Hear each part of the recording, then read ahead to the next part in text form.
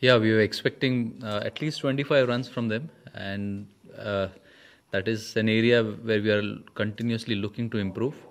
Uh, and we are just hoping that the lower order, especially the tail enders 9, 10, and 11, show a bit more application than what they did today. About Ajinkya and Pujara, both quality test players, and uh, whenever they, they've done well, uh, they've put us in a good position.